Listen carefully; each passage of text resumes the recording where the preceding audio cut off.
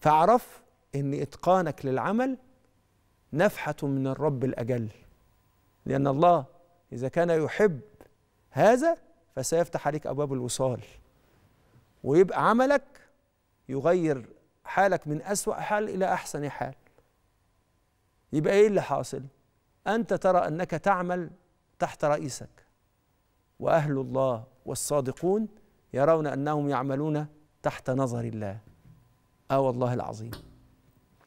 طب لما تعمل تحت نظر الله يحصل لك إيه بقى؟ من عمل وهو على يقين أنه في محل نظر الله اتسعت في عينه الحياة وعاش في حضرة مولاه فتجلى عليه في كل لحظة بوصل لم يره قبل ذلك في الحياة فيدخل في عالمي وفي حياتي ما لا عين رأت ولا أذن سمعت ولا خطر على قلب بشر. طب فين الكلام ده؟